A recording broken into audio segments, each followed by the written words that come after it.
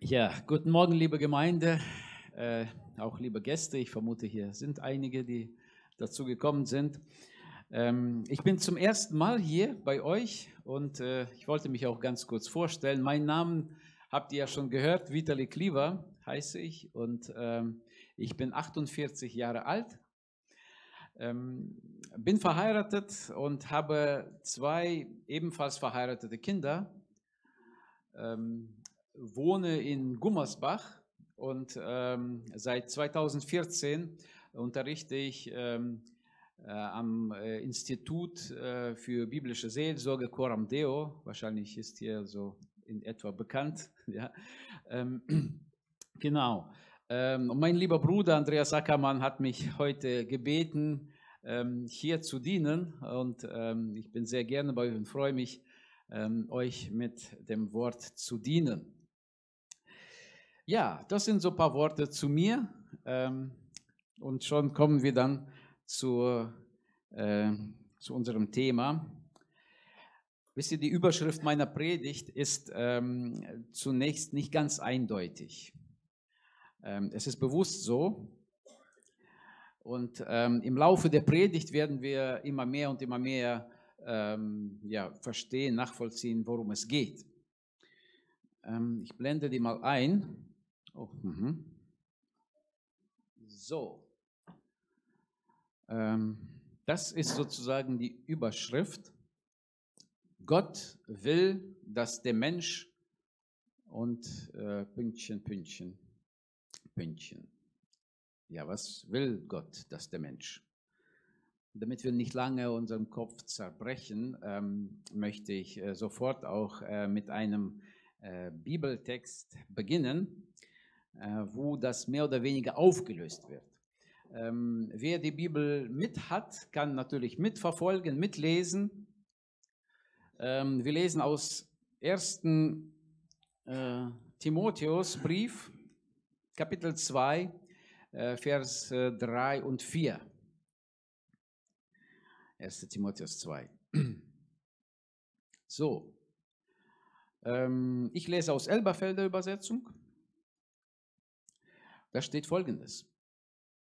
Dies ist gut und angenehm vor unserem Retter Gott, welcher will, dass alle Menschen glücklich werden und zur Erkenntnis der Wahrheit kommen.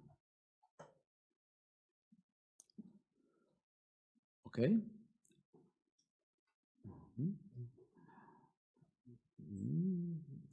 Sehe so ein bisschen äh, manche Augen. Äh, was ist denn los? Ist irgendwas? Hat jemand irgendwas gemerkt bei diesem Text? Keine gute Übersetzung.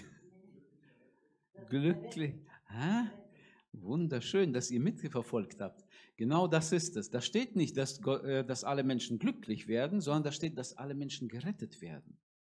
Aber wisst ihr, das Problem ist, dass ähm, zumindest in so manchen Gemeinden, bei manchen Christen, manche Christen so tatsächlich so glauben, so leben und äh, ja, so denken, dass es Gott fast, ähm, dass Gott als ob gar nichts anderes tut, als nur dafür zu sorgen, uns glücklich zu machen. Ja?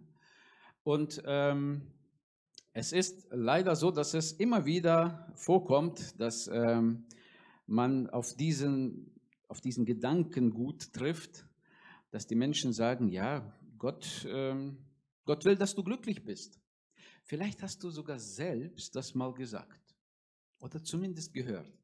Gott will ja nur, dass du glücklich bist. Und wisst ihr, es ist ja eigentlich so, wir haben es ja sogar in der Kindergeschichte gehört, natürlich sind wir glücklich, wenn wir uns bekehren, ja? Ja, wie Zachäus. Natürlich war er froh, natürlich war er glücklich. Aber die Welt versteht unter Glück noch was ganz anderes. Die Welt versteht nicht diese, diese Freude, wenn man in Christus äh, gerettet wird. Ja? Die Welt versteht da was ganz anderes. Ähm, also interessant ist, dass ähm, diesen Gedanken, dass es Gott darum geht, Hauptsache Menschen glücklich zu machen, den werden wir in der Bibel so nicht finden. Also so eine Aussage erstens gibt es nicht. Ähm, wir werden nicht mal diesen Gedanken finden, dass Gott in erster Linie möchte uns glücklich machen, hier auf Erden schon. Ja? Es gibt Verheißung.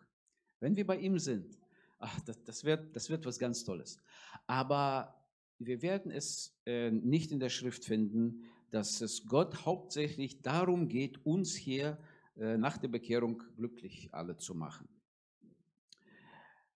Ähm, einer oder der andere könnte sich vielleicht fragen, wie jetzt? Will denn Gott, dass wir unglücklich sind? Will Gott das? Ähm, diese Gegenfrage kann natürlich schnell kommen, aber sie ist genauso falsch wie die Aussage, dass, dass es Gott Hauptsache darum geht, uns glücklich zu machen. Also weder geht es Gott darum, uns glücklich zu machen, noch geht es Gott darum, uns irgendwie unglücklich zu machen. Beides stimmt nicht. Ähm, äh, diese Frage, will, on, will Gott uns nun mal glücklich machen oder nicht? Diese Frage ist falsch. Wisst ihr, die, das ist eine falsche Fragestellung. Und vielleicht wirst du da und hier irgendwann mal äh, diese Frage auch hören. Ähm, nicht selten fragen uns das die Menschen aus der Welt. Äh, und manchmal fragen wir uns, also manchmal fragen sich die Christen diese Frage, stellen sich die Frage auch.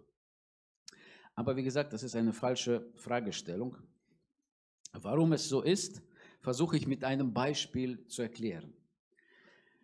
Ähm, nehmen Sie mal an, ihr wisst nicht, was die Ärzte und die Krankenschwestern in den äh, Krankenhäusern mit den Patienten vorhaben.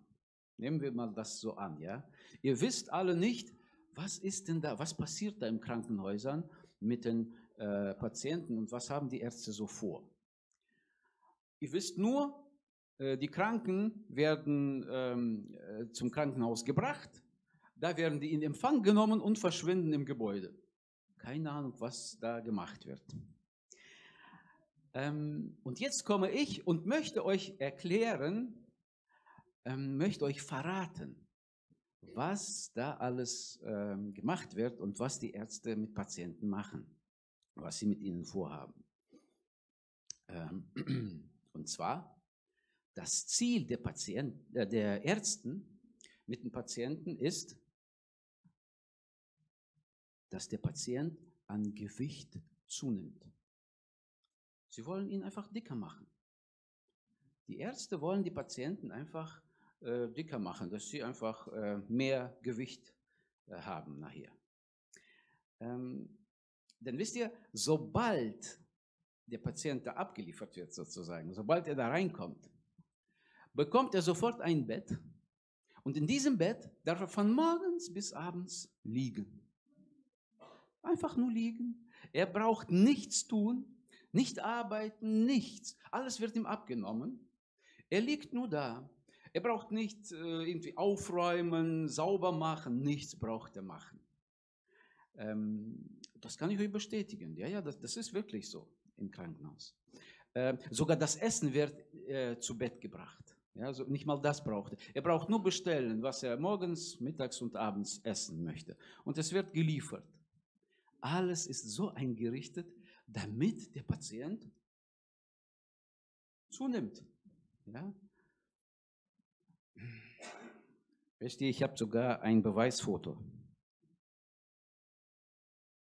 Hier haben wir es. Das ist nicht gestellt, das ist wirklich aus einem Krankenhaus. Da sehen wir das. Ne? Was habe ich gesagt? Ist doch so, ne? Da, alles wird darauf, äh, alles äh, wird so gemacht, damit der Patient eben an Gewicht zunimmt. ja, also ich würde mal so sagen, nehmen wir mal an, ihr habt es mir geglaubt. Wir nehmen mal an, ihr ähm, habt tatsächlich davon nicht gewusst und jetzt denkt ihr, hm, stimmt, also viele kenne ich, die aus dem Krankenhaus kommen und hm, ein paar Kilos haben die wirklich drauf. Mensch, das muss wohl so stimmen. Also angenommen, ihr habt das geglaubt und ihr ähm, denkt so weiter, seid überzeugt, dass es so ist, überzeugt euch immer mehr. Ähm, eines Tages begegnet euch ein Stationsarzt, also ein Arzt aus dem Krankenhaus, und im Gespräch mit euch beginnt er zu verstehen, also, also äh, ja, erfährt er, wie ihr über seine Arbeit denkt. Ja, was ihr so alles äh, über diese ganze Geschichte im Krankenhaus so denkt. Ähm, er beginnt natürlich euch zu widersprechen und sagt, nein, also unser Ziel ist es nicht, den Patienten irgendwie gewichtiger zu machen. Ja, das ist überhaupt nicht unser Ziel. Ich, ich weiß gar nicht, woher du das hast. Ja, wir haben nicht vor, dass die Patienten nachher viel äh, mehr wiegen als davor. Das ist überhaupt nicht unsere Absicht. Und ihr antwortet dann, Moment mal, willst du etwas sagen, dass ihr wollt, dass der Patient abnimmt? Willst du das mir sagen? Also antworte jetzt bitte mir, ohne auszuweichen. Wollt ihr, dass er zunimmt oder wollt ihr, dass er abnimmt? Und dann, dann steht dieser Arzt und sagt, also er, er, kann ja keine vernünftige Antwort geben, ja, wenn wir nur auf diese zwei, Antwort, äh, zwei Fragen antworten sollen. Äh, wenn er auf diese zwei Antworten, wenn er auf diese zwei Fragen antworten soll. Ja, hier merken wir, dass äh, die Fragestellung falsch ist. Die Frage ist falsch aufgestellt. Ähm, warum ist die Frage falsch? Weil wir schon mit, den, äh, mit der Frage die Möglichkeit zu antworten so sehr eingeschränkt haben, dass es keine richtige Antwort mehr möglich ist, sozusagen. Ja? Dieser Arzt könnte höchstens sagen, auf diese zwei, zwei Fragen habe ich keine Antwort, ich werde da nicht antworten. Weil egal welche Antwort ich gebe, die ist falsch. Wir haben nichts mit dieser Gewichtszunahme oder Abnahme zu tun. Ja? Das ist überhaupt nicht in unserem Fokus. Ähm, also solche Fragen können wir stellen oder, oder gibt es, aber das sind falsch gestellte Fragen. Ähm, also ähm, wenn wir diese Fragen, diese zwei Fragen an diesem Arzt stellen, worum dreht sich das Ganze? Was würdet ihr sagen? Um welchen Thema dreht es sich da? Bitte? Essen, genau, Essen, Gewicht, ja, Kilos, also darum geht es. Faulenzen, ja, nebenbei natürlich auch, klar. Ähm, und ähm, wir unterstellen, mit dieser Frage unterstellen wir den Ärzten, dass ihr Fokus bei der Behandlung des Patienten nur auf sein Gewicht liegt. Ja? Mit diesen Fragen unterstellen wir es den Ärzten. Also wir, wir nehmen an, ihnen geht es nur darum, um ja, auf das Gewicht des Patienten zu achten. Aber äh, das ist so nicht. Ähm, und ähm, wenn wir tatsächlich wollen würden, äh, also genau zu erfahren, genau erfahren, worum geht es diesen Ärzten denn, was wollen sie denn mit Patienten, dann müssen wir ganz andere Fragen stellen. Nämlich, wir müssen dann zum Beispiel so eine Frage stellen. Ähm, kannst du mir bitte erklären, worum geht es euch, wenn ihr die Patienten behandelt? Ja? Und dann kann er das ganz gut, ganz normal erklären. Oder was ist euer Hauptziel mit dem Patienten? Das, das sind so richtige Fragen. ähm, wenn wir diese Fragen stellen, könnten wir dann von diesem Arzt zum Beispiel so eine Antwort hören. Ja, unser Ziel ist es, dass der Kranke beschwerdenfrei und möglichst gesund wird. Das stimmt dann mit der Tatsache überein. Aber wisst ihr, wenn wir jetzt zusammen so darüber mal ein bisschen nachdenken, äh, kann es passieren, dass der Patient wenn er ein bisschen zu Kräften kommt, wenn er schon ja, mehr oder weniger gesund wird, Und nach drei, vier Wochen vielleicht oder ein paar Monaten sogar im Krankenhaus, dass er in diesem Prozess der Genesung paar Kilos zunimmt. Kann es passieren? Natürlich. Also ich habe es selbst erlebt. Ja. Nach ein paar Wochen hatte ich, äh, im Krankenhaus hatte ich wirklich ein paar Kilo drauf. Natürlich kann es passieren. Ähm, ist das von den Ärzten so geplant und gewollt gewesen, dass er zunimmt? Nein. Ähm, aber das ist ein Nebeneffekt. Ein Nebeneffekt, dass man ähm, gesund wird und dass man naja, natürlich weniger arbeitet, ja, weniger Bewegung hat. Das ist so ein Nebeneffekt. Einer kann äh, zunehmen. Ähm, aber das Wichtigste ist, dass der Mensch gesund bleibt. Ob er jetzt zunimmt oder abnimmt, das ist zweitrangig. Das ist nicht so wichtig. Das ist so eher, ja, wie gesagt, Nebeneffekt. Also ihr Lieben, zurück zu unserem Thema. Will Gott, dass wir glücklich sind oder will er das nicht? Hm, das ist eine Frage, die ähnlich wie, ähnlich ist wie die Frage, wollen jetzt Ärzte, dass wir zunehmen oder wollen die nicht? Oder wollen die, dass wir abnehmen? Ja, das, das, das, es ist nicht das Thema. Es ist kein Hauptthema bei den Ärzten und genauso auch ähm, bei Gott ist es auch nicht Hauptthema Glück sozusagen des Menschen. Ähm, wenn wir so fragen, will Gott uns glücklich machen oder nicht, was denkt ihr, was unterstellen wir Gott oder welche Annahme haben wir dann? Was denken wir über Gott? Oder was stellen wir uns da so vor? Will er uns jetzt glücklich machen oder will er uns nicht glücklich machen? Ich helfe euch vielleicht ein bisschen. Bitte? Welcher Gott? Ja, das ist auch eine gute Frage. Von welchem Gott sprechen wir jetzt? Ja, ja, ja stimmt. Aber wenn wir jetzt diesen Gott der Bibel nehmen, ja, und wenn wir diese Frage stellen, wisst ihr, dann unterstellen wir Gott, dass ihm tatsächlich beinahe schon hauptsächlich darum geht, uns glücklich zu machen. Sein Hauptthema ist Glück, Glück, Glück. Und jetzt ist die Frage, so, jetzt willst du uns glücklich machen oder willst du es nicht? Ja? Und diese Annahme, dass es als ob Gott nur darum geht, uns glücklich zu machen, die ist falsch die ist falsch. Die ist so, wie gesagt, in der Schrift nicht zu finden. Die richtige Frage wäre, Gott, was willst du mit uns machen? Oder was ist dein Hauptziel mit uns? Das ist die richtige Frage. Und auf diese Frage werden wir heute eine Antwort bekommen. Schauen wir mal, was Gott in seinem Wort zu uns zu diesem Thema ähm, sagt oder was er uns mitteilt. Wir äh, beginnen mit dem Text, den wir ganz am Anfang schon gelesen haben, aus 1 Timotheus 2, Verse 3 und 4.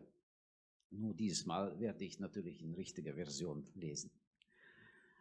Äh, da steht geschrieben, dies ist gut und angenehm vor unserem Retter Gott, welcher will, dass alle Menschen gerettet werden und zur Erkenntnis der Wahrheit kommen. Gott will, dass der Mensch, da haben wir das, und sozusagen das erste Ziel, ich weiß nicht, ob es von hinten, ganz hinten zu sehen ist, ist es euch da zu sehen? Schlecht wahrscheinlich. Ne?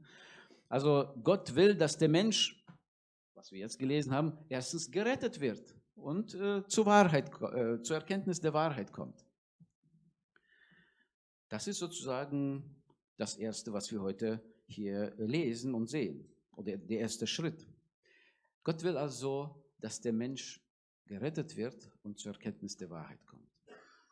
Und wisst ihr, diese Rettung, diese Rettung, sie, oder diese Wiedergeburt, ja, wir sprechen ja auch von der Wiedergeburt, ähm, diese Wiedergeburt, die macht uns überhaupt erst äh, fähig, Gottes Wahrheit zu erkennen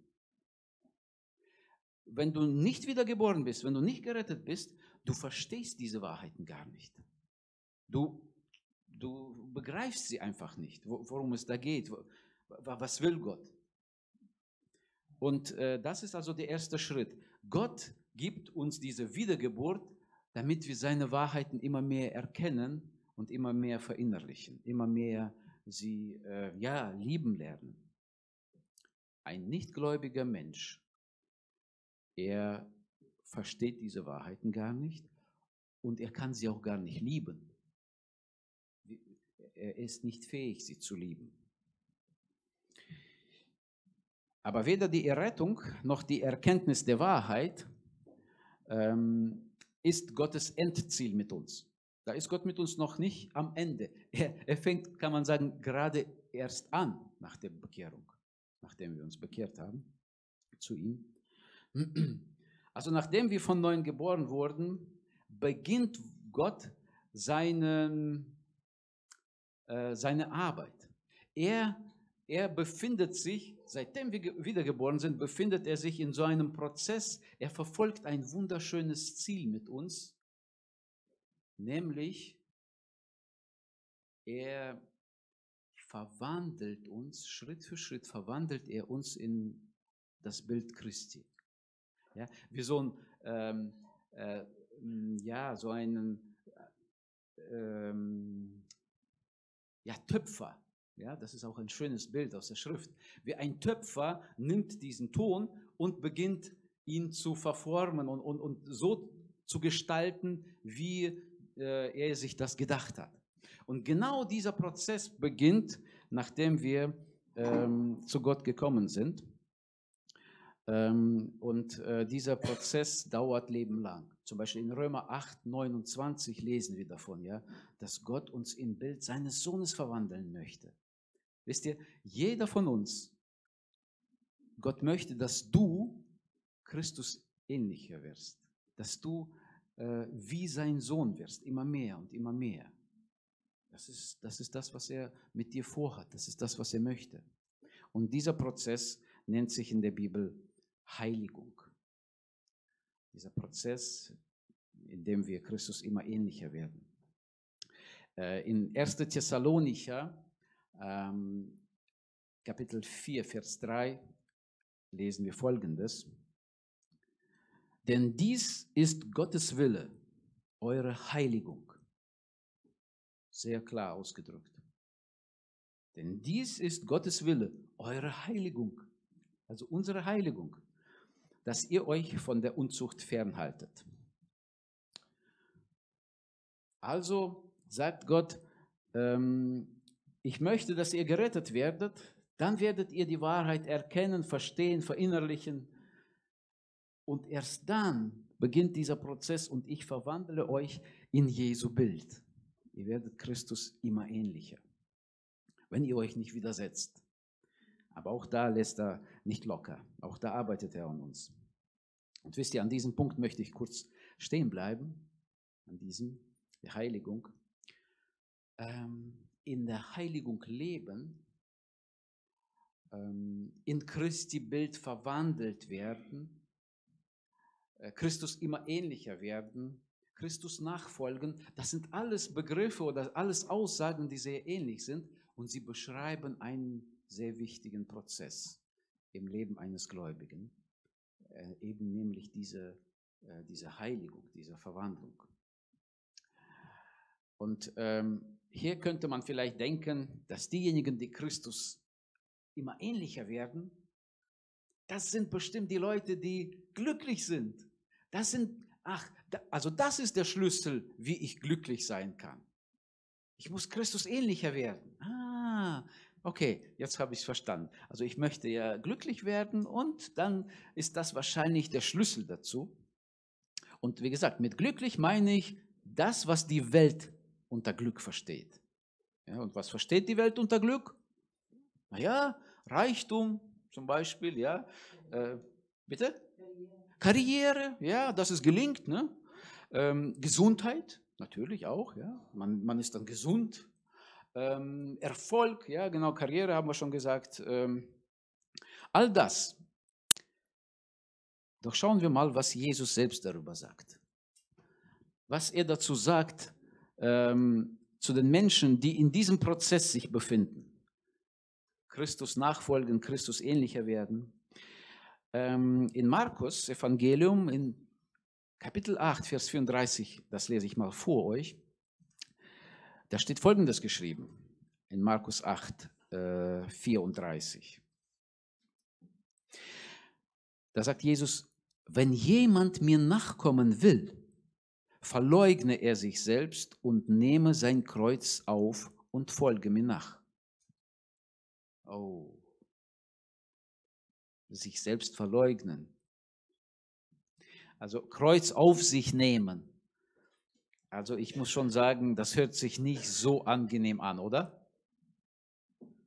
Von Glück und äh, großer Freude ist hier nicht unbedingt die Rede, nicht wahr? Oder zum Beispiel sagt Jesus in Lukas 21, 17, lese ich auch euch vor. Er sagt in Lukas 21, 17, und ihr werdet von allen gehasst werden, um meines Namen willen. Das heißt, wer sich zu Jesus bekennt, wer ihn folgt, er wird gehasst werden. Ach, das sind aber keine sonderlich ähm, ja, glücksversprechende Aussichten. Ja?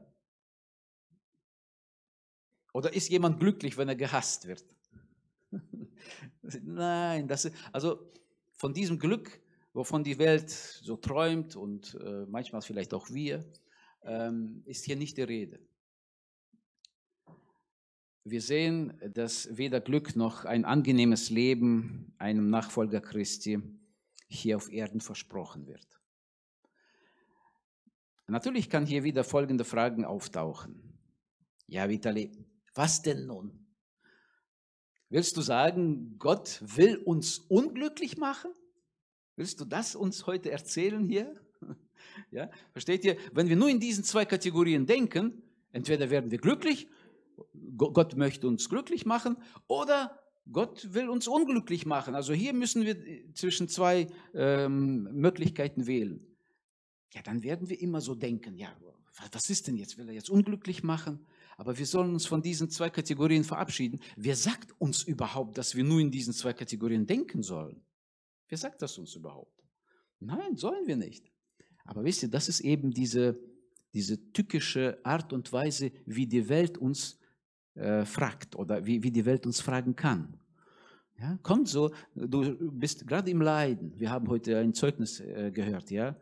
Eine gläubige Mutter leidet, weil ihre Tochter, also ich kenne da nicht sehr viel, aber so wie ich es verstanden habe, mit Alkohol Probleme hat, ja. Ja, und dann kam die Welt kommen und sagt, und was ist mit deinem Gott? Ja, Offensichtlich will er nicht, dass du glücklich bist, ja? Und sie versuchen uns da reinzuzwängen in dieses Denken. Glücklich oder nicht glücklich? Unglücklich? Also, das ist sozusagen so die Gefahr, dass wir uns da vielleicht auch fangen lassen und äh, anfangen zu denken und, und vielleicht Selbstzweifel bekommen. Ja?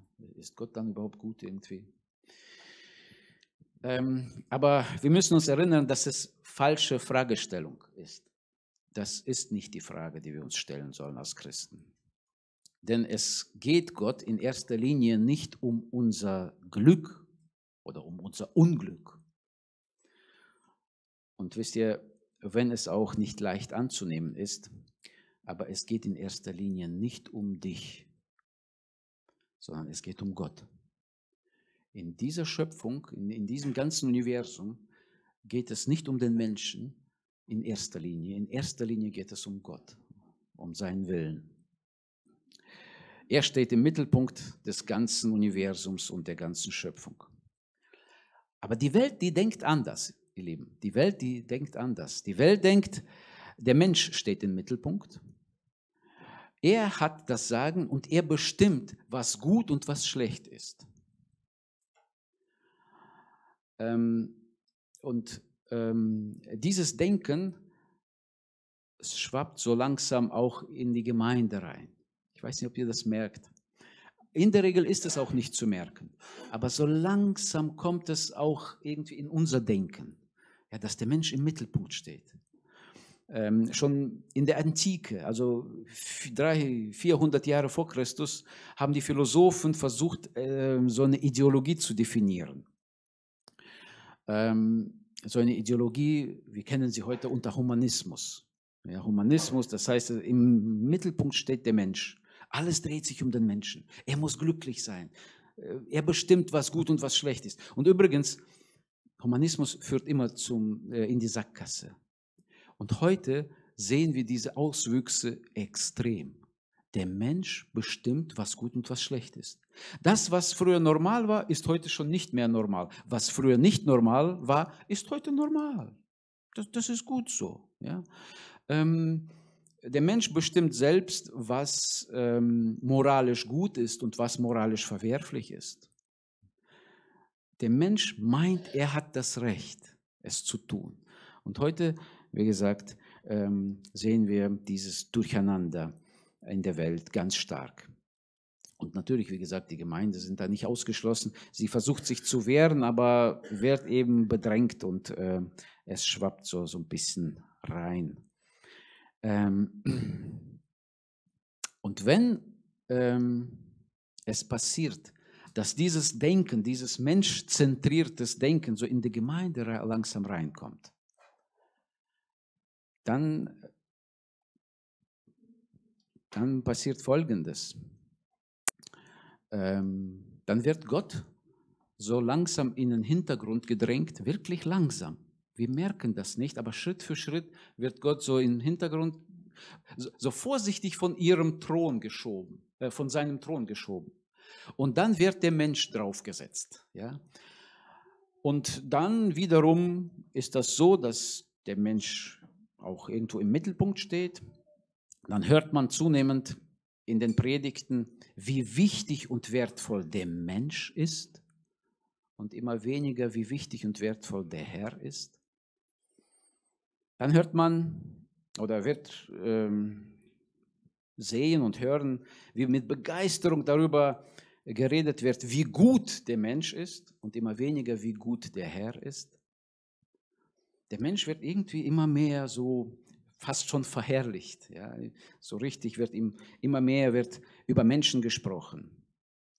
Es wird kaum darüber gesprochen oder gelehrt, wie, wie Gott ist. Also über sein Wesen, über seine Eigenschaften, über seine Charakterzüge. Es wird viel mehr darüber gesprochen, was Gott uns alles gibt. Es wird über Gaben Gottes viel mehr gesprochen. Denn es ist ja nur dann ein guter Gott, wenn er uns beschenkt, wenn er uns gute Gaben gibt. Ja? Und deswegen wird so viel ge gesagt, was er uns alles Schönes und Gutes gibt. Und der, äh, die Gabe wird immer mehr geschätzt als der Geber selbst. Und dann Wohlstandsevangelium und Kuschelchristentum sind dann die Früchte von diesem, von diesem Denken.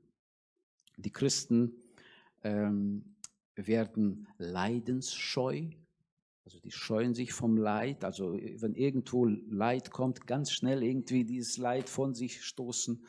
Sie sind nicht wirklich bereit, ja, ähm, um Jesu Namen gehasst zu werden, sozusagen, verfolgt zu werden. Wer so wird, wer so auch denkt, er hat irgendwann mal diese Lüge geglaubt, dass Gott es hauptsächlich darum geht, uns glücklich zu machen. Ähm, und in der heutigen Zeit ist das ähm, dringend notwendig äh, zu betonen, dass unser Gott im Zentrum steht. Nicht der Mensch, Gott steht im Zentrum. Im Zentrum der sichtbaren und unsichtbaren Schöpfung.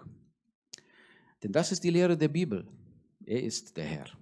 Er hat das Sagen und er definiert, was richtig und was falsch ist. Er sagt, was gut und was böse ist. Nicht der Mensch.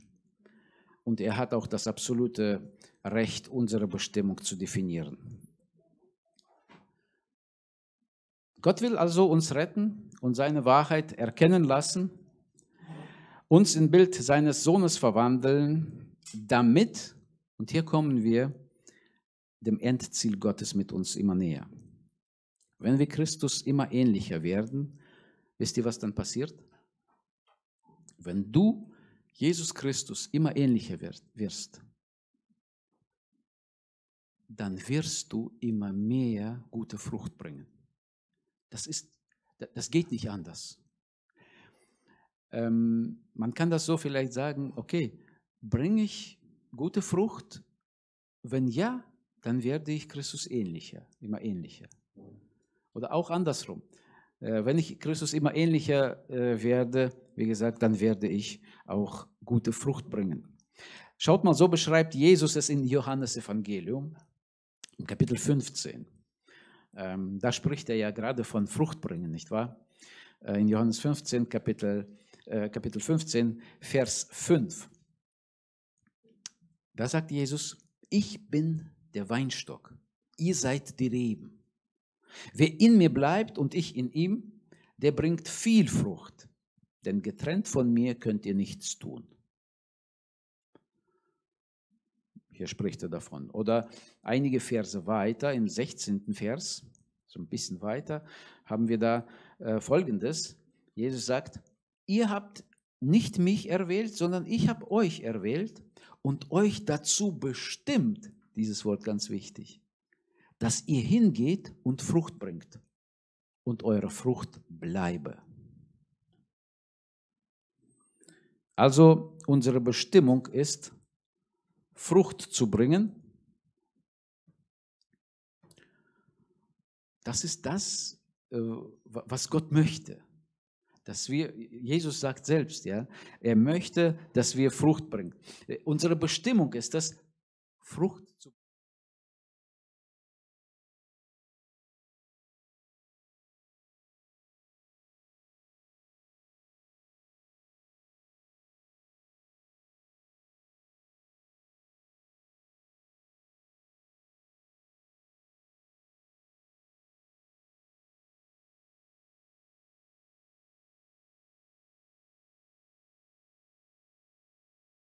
schönes Ziel, ein Endziel Gottes. Ähm,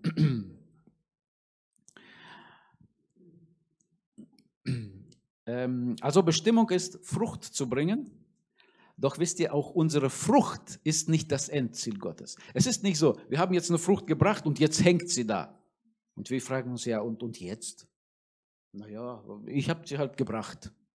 Ne? Oder sie liegt da und man, man weiß nicht, was mit, mit dieser Frucht anzufangen. Und, und Gott sagt auch, naja, ist halt so gedacht. Äh, so ist das nicht. Er hat uns auch verraten, wozu diese Frucht sein soll. Was ist mit ihr? Ähm, genau dort, wo wir jetzt aufgeschlagen haben, in Johannes 15, im Vers 8 sagt Jesus, verrät er uns, wozu das überhaupt gut ist, Frucht zu bringen. Da sagt Jesus, hierin wird mein Vater verherrlicht, dass ihr viel Frucht bringt und meine Jünger werdet. Das wunderschöne Ziel, das wunderschöne Ziel, das Gott mit uns hier noch auf Erden hat, dass wir ihn verherrlichen durch unser Leben, das Jesus Christus widerspiegelt. So, ihr Lieben, jetzt sind wir am Ziel. Gottes Verherrlichung ist unser, unsere letzte Bestimmung und das Hauptziel Gottes mit uns. Also nicht Gott ist dazu da, um uns, ähm, ja, um uns zu, äh, quasi zu verherrlichen und zu dienen, sondern wir sind dazu da, um Gott zu dienen und ihn zu verherrlichen. Das ist unsere Bestimmung. Und ähm, wollen wir nochmal vielleicht uns vor Augen das Ganze hier halten. Also Gott will, dass der Mensch gerettet wird und dass er zur Erkenntnis der Wahrheit kommt. Er will den Menschen in Christi Bild verwandeln, damit der Mensch zunehmend gute Frucht bringt, wodurch er sich verherrlichen wird. Und wisst ihr, wer diese Bestimmung erfüllt. Wer das erfüllt, der ist erfüllt. Der ist dann auch erfüllt. Der, der braucht auch nichts mehr. Vielleicht kennt ihr Menschen, die sagen, ach, weißt du, ich glaube an Gott, ich bin gerettet und mehr will ich nichts wissen. Also ich lebe so, wie ich will, lass mich in Ruhe, ich bin gerettet, ich glaube an Gott, also alles andere interessiert mich nicht viel oder wenig. Und sie versuchen dann ihr Glück und äh, den Lebenssinn in allen möglichen Dingen zu finden. Sie versuchen sich auf Erden hier so einzurichten, dass es bequem ist, dass es angenehm ist, ja. Wie gesagt, bloß kein Leid erfahren. Und wenn sie irgendwo hören, jemand leidet, oh, bloß nicht zuhören, dann fühle ich mich schlecht. Ja. Man meidet äh, Menschen, bei denen es vielleicht schwierig gibt, Schwierigkeiten gibt. Also für mich ist es überhaupt so ein Zeugnis, was hier in diesem Haus entsteht oder passiert immer wieder. Ähm, und manchmal höre ich das so von den Ungläubigen, ja, was da mit, äh, mit Drogenabhängigen beziehungsweise diese Reha-Center und, und äh, diese alle Einrichtungen, die dann mit diesen Menschen ähm, zu tun haben, ja, warum machen sie das überhaupt? Wenn sie nicht bezahlt werden mit, mit was weiß ich, da 20.000 monatlich, ja, wie, wie, wieso machen die das überhaupt? Aber das ist eben das. Wer Christus in sich hat, er hat auch diese Liebe zu dem Nächsten. Und ähm, ja, das ist eben diese gute Frucht, die dann kommt. Ja. Ohne Christus äh, gibt es hier sowas gar nicht. Das ist ja auch ganz klar. Ohne seine Liebe. Ähm, und ja, einige Leute sagen, nee, also ich äh, möchte mich hier bequem einrichten. Ähm, doch wisst ihr, diese Menschen, die versuchen, zwar so als ob an Gott zwar zu glauben, aber ihr eigenes Paradies hier auf Erden aufzurichten, äh, einzurichten, sie scheitern. Sie scheitern. Und Gott lässt es auch nicht zu, dass sie ihr Paradies hier auf Erden aufbauen können. Denn es ist hier weder versprochen noch von Gott gewollt. Hier haben wir eine andere Bestimmung, wie gesagt. Gott zu verherrlichen, indem wir gute Frucht bringen. Nun können wir es zusammenfassen, Gottes Hauptziel in Bezug auf den Menschen ist, sich durch ihn zu verherrlichen.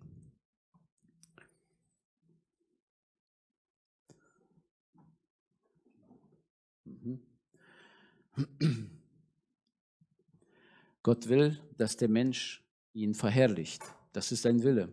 Denn das ist unsere Bestimmung. Und das Faszinierende dabei ist, dass wenn der Mensch nach dem Willen Gottes lebt, also diese Bestimmung, dieser Bestimmung nachkommt ähm, und eben Gott verherrlicht, so hat er ein erfülltes Leben, dieser Mensch. Das hat er. Er hat ein sinnvolles Leben. Und ähm, er lebt zufrieden.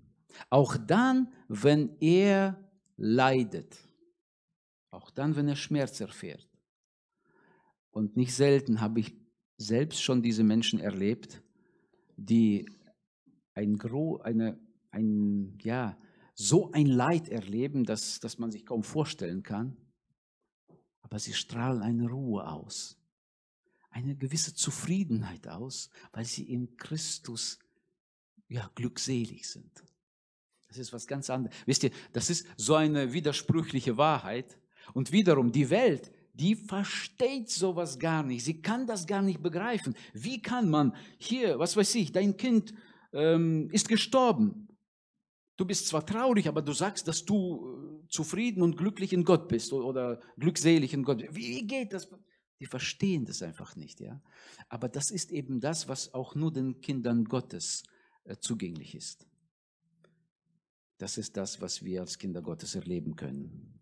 Und diese Wahrheit hat ein bekannter christlicher Autor, Lawrence Crabb, äh, zusammengefasst, und zwar so, er sagte, das Ziel, glücklich werden zu wollen, ist immer trügerisch. Sie ist immer trügerisch, dieses Ziel, das, das, wir werden es nie erreichen, wenn wir nur dieses Ziel verfolgen ist immer trügerisch. Ganz gleich, mit welchen Mitteln ich es zu erreichen suche. Doch das Nebenprodukt, glücklich zu sein, steht all denen zur Verfügung, deren Ziel es ist, in jedem Augenblick Gott wohlgefällig zu leben. Mit anderen Worten, wenn ich mich nur darauf ausrichte, Glück zu suchen und es erreichen wollen, dann werde ich es nie bekommen. Ich werde Leben lang auf dem Weg unterwegs sein und nie glücklich werden. Wenn ich mich aber darauf ausrichte, vor Gott zu leben, so zu leben, wie es Gott gefällt, dann haben wir wie so ein Nebenprodukt, zack, plötzlich ist da so diese Glückseligkeit da. Wie erleben sie, obwohl wir sie nicht so richtig angestrebt haben. Ja? Wir haben Gott angestrebt und bekommen Glück sozusagen, Glückseligkeit. Das will diese Aussage nochmal betonen. Noch prägnanter hat es ein ähm, Autor, ein christlicher Autor und ein äh, Prediger, John Piper, wahrscheinlich kennt einige ihn, kennen einige ihn, äh, hat ausgedrückt, und zwar hat gesagt, ähm, Gott wird in uns dann am meisten verherrlicht, wenn wir in ihm am meisten befriedigt sind. Das heißt, wenn ich wirklich sage, es gibt nichts Schöneres, als in Gott zu ruhen, als mit ihm eine enge Beziehung haben, als dann eine, eine Beziehung zu haben, wo dazwischen keine Sünde, keine irgendwas, was dazwischen kommt. Wenn ich das habe, das ist das Schönste, was ich je erlebt habe auf Erden. Wisst ihr, dann verherrlicht sich Gott in uns am meisten. Weil dann, erst dann sagen wir diese absolute Wahrheit. Gott ist unser Glück. Wie ich schon gesagt habe, viele Christen wollen diese Glückseligkeit, diesen Genuss, diese Freude, ohne Christus nachzufolgen, ohne Kreuz auf sich zu nehmen, ohne zu leiden. Ja, all das wollen sie nicht. Sie wollen nur diese Glückseligkeit. Ich, ich würde so gerne so glücklich sein wie du in Gott. Aber das, was du erlitten hast, das will ich nicht haben. So geht es aber nicht. Und wisst ihr, manche Christen sind enttäuscht weil sie sagen oder weil sie gedacht haben, oh, wenn ich an Gott glaube, wenn ich ihm folge, dann wird alles gut.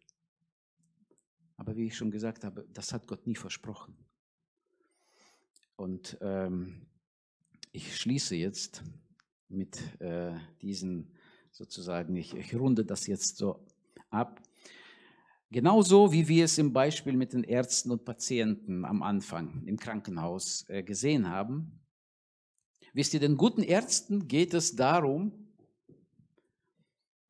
ähm, also hauptsächlich geht es ihnen darum, die Gesundheit des Patienten, ähm, ja, um die Gesundheit des Patienten, ja. Darum geht es den Ärzten. Sie sorgen sich um die Gesundheit des Patienten.